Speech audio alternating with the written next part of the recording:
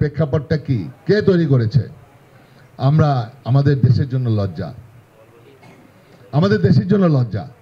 কেন আমাদের এই সমস্ত অফিসারদের, আমাদের পুলিশ, র্যাব, বিডিআর, বিভিন্ন আমলা, আপনার রাজনীতিবিদ, এদের উপরে কেন স্যাংশন দিবে? কারণ এদের সন্তানরা সবাই আমেরিকাতে থাকে।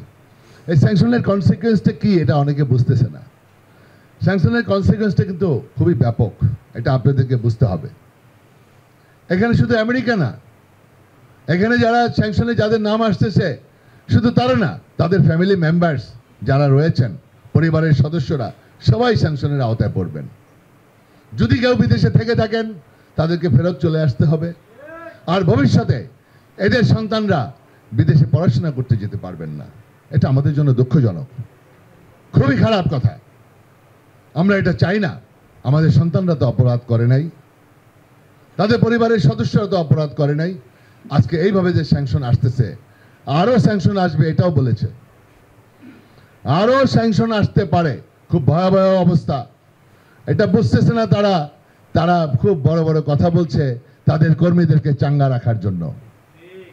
তাদের কর্মীদেরকে চাঙ্গা রাখার জন্য তারা এইভাবে চিৎকার করে কথা বলছে। কবরস্থানের পাশ দিয়ে যেমন জোরে জোরে গান গায়া, ভয়টা ভয়টা ইয়ে করার জন্য যেমন গান গায়।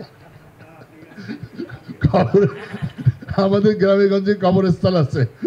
কবরস্থানের পাশ দিয়ে হেঁটে যাওয়ার সময়